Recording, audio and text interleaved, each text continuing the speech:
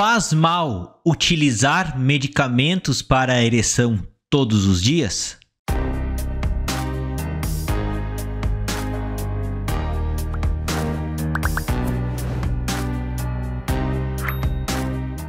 Oi, gente!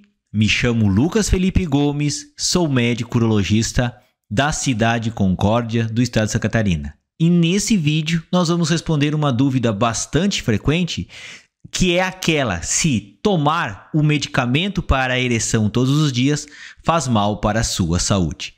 E antes de continuar a assistir esse vídeo, inscreva-se no meu canal do YouTube Toque de Urologista, ative as notificações e principalmente não esqueça de compartilhar esse vídeo com seus amigos, colegas e conhecidos, a fim de que essa informação útil consiga chegar ao maior número possível de pessoas.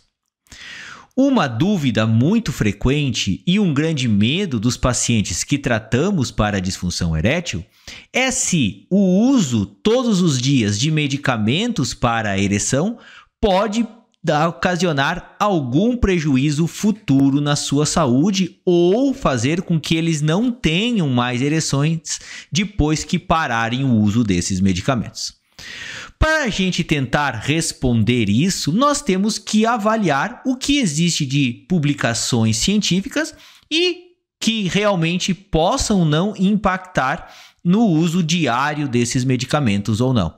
E a partir dessa busca, nós tentamos extrapolar, nós tentamos fazer com que o paciente entenda que se isso é ou não prejudicial para a sua saúde. Então, o que a gente tem de publicações e que realmente nos comprovam que o uso desses medicamentos não faz mal para a saúde é que quando você pega, por exemplo, trabalho realizados em camundongos, ratinhos, nos quais você acabou, esses ratinhos foram induzidos a ter diabetes. Esses ratinhos são ratinhos mais velhos.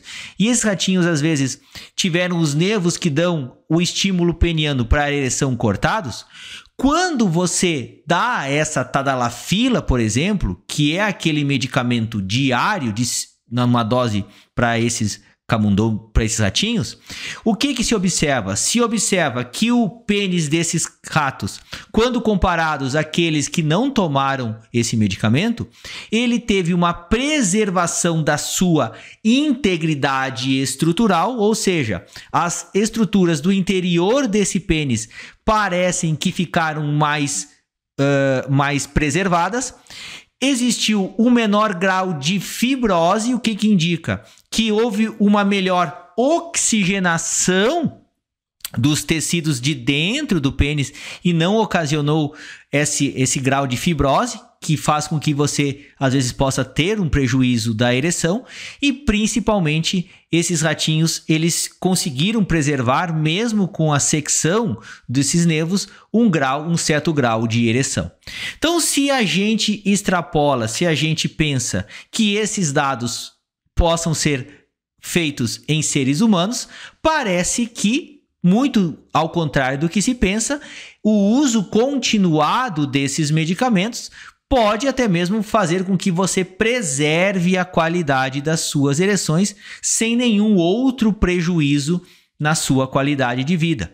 Tanto é verdade isso que aqueles pacientes que foram submetidos, por exemplo, à cirurgia para a retirada da próstata, nós recomendamos o uso dessa tadalafila o mais precocemente possível para que aconteça uma chegada de sangue no pênis, para que aqueles estruturas que dão, que se enchem de sangue, chamada de corpos cavernosos, não fiquem sem o oxigênio, para que não exista a substituição daquele tecido que dá a ereção por um tecido endurecido, um tecido que não se distende, chamado de tecido fibrótico. Então, para prevenir essa ocorrência, nós recomendamos o uso dessa tadalafila para preservar a ereção desses homens. E como você bem sabe, quando se realiza a cirurgia da próstata, alguns nervos responsáveis pela ereção são cortados também. E parece que quando você administra esse medicamento todos os dias, de maneira continuada, uh, acontece uma menor, uma recuperação mais rápida da qualidade das ereções. Então, esse é o primeiro ponto que a gente coloca. Então, o uso continuado pode até mesmo preservar a integridade estrutural do seu pênis, facilitando as relações sexuais. Outro ponto que é sempre questionado é se esse uso continuado não vai fazer com que você só consiga ter ereções depois de estar tá tomando esse medicamento. Então, se você para de utilizar o remédio ou se você toma por muito tempo, ele não vai funcionar mais. Existem séries de acompanhamento de casos que estão tomando essa tadalafila praticamente há mais de 12 anos de maneira ininterrupta e se observa quase que o mesmo efeito que esse medicamento tinha desde o início desse tratamento. O que se deduz do que se compreende que esse medicamento não vai tendo uma diminuição do seu efeito ao longo do tempo e ele preserva o seu funcionamento com as mesmas doses do início do tratamento. Então não há necessidade de você aumentar esse, essas dosagens ao longo do tempo. Parece que o seu corpo não adquire tolerância a esse medicamento utilizado para ereção todo dia, todos os dias. Para quem não sabe o que é tolerância, é a necessidade de você tomar doses cada vez maiores de um medicamento para obter o efeito que você tinha antes.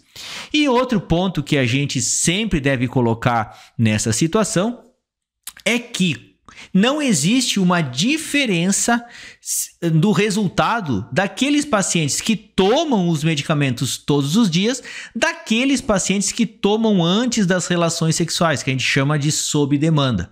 Então, quando você toma todos os dias, você teoricamente está sempre pronto para ter uma relação sexual. E quando você opta por tomá-lo antes das relações sexuais, há necessidade de um certo grau de planejamento.